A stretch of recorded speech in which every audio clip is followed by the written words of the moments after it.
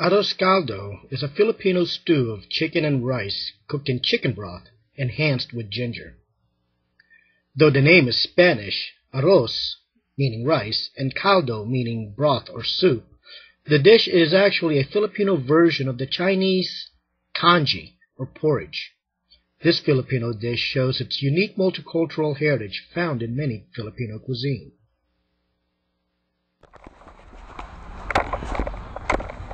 It's currently 5.30 in the morning.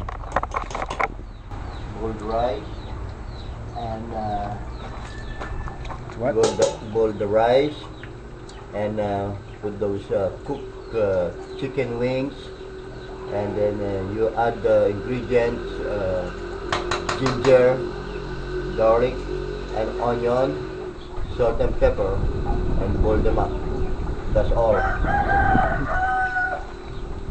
that is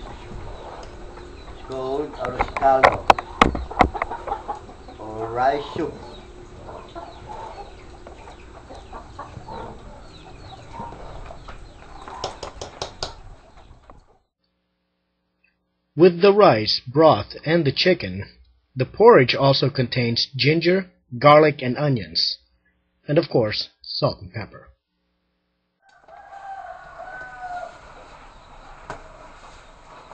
I want to see that. As you could see in the chicken, the bones are attached, as well as chicken liver, which Miss Mimi added to this dish.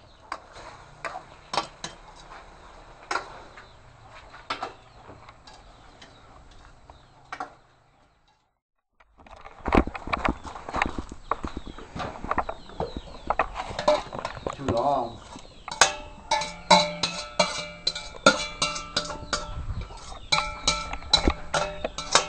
Miss Mimi is making this dish early in the morning because arroz caldo is eaten primarily for breakfast, or in some cases, late supper. And for many Filipino farmers, both meals will have arroz caldo as its main dish. I got nothing to say, but it's okay. Good morning. Good morning.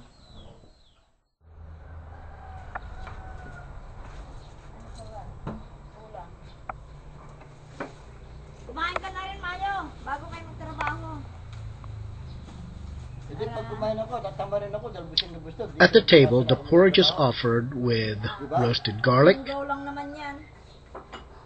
Quaker. diced scallions, Quaker oats ba yan sa, ano, Amerika?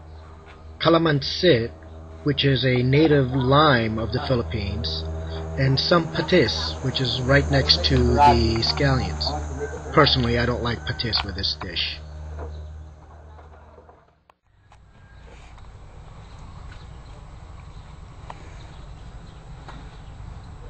Mainit.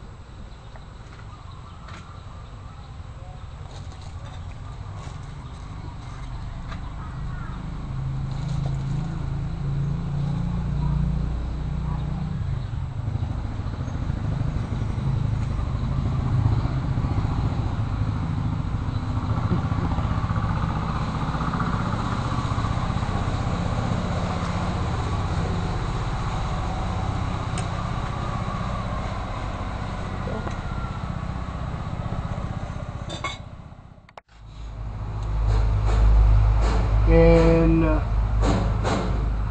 Nueva Ecija, arroz caldo is considered as a farmer's breakfast.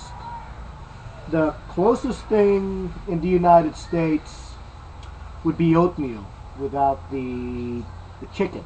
Although keep in mind that they probably put chicken in the oatmeal. It would not not sure it would taste any would taste the same. Uh, we're just considering the consistency, not exactly the taste. Oatmeal and uh, arroz caldo with the rice, two different tastes. I'm, I'm sure of it. Well, I know of it.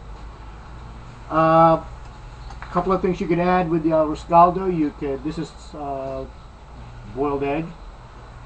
Slice it up, add it on. I do believe they do that in uh, the, the, United States. And uh, some people will, after they have eaten all the, um, after they've eaten the chicken, they would have seconds and add the, uh, the my favorite again, the fish bacon or Creole. Now I know that some people actually uh, put bacon on their oatmeal at home. So that's it. This would be arroz caldo.